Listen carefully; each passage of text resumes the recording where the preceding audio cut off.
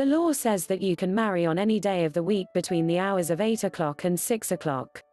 Marriage legislation now allows you to marry at any register office in England and Wales providing you reside within these countries.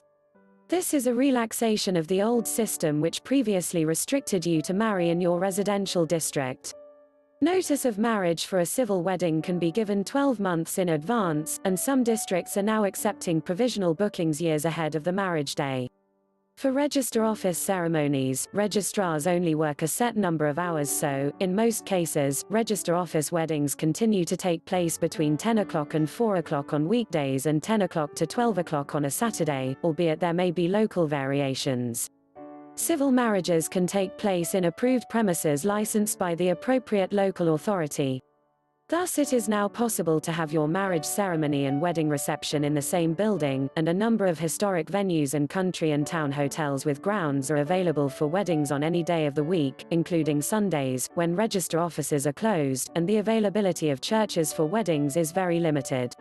There are hundreds of approved premises in England and Wales.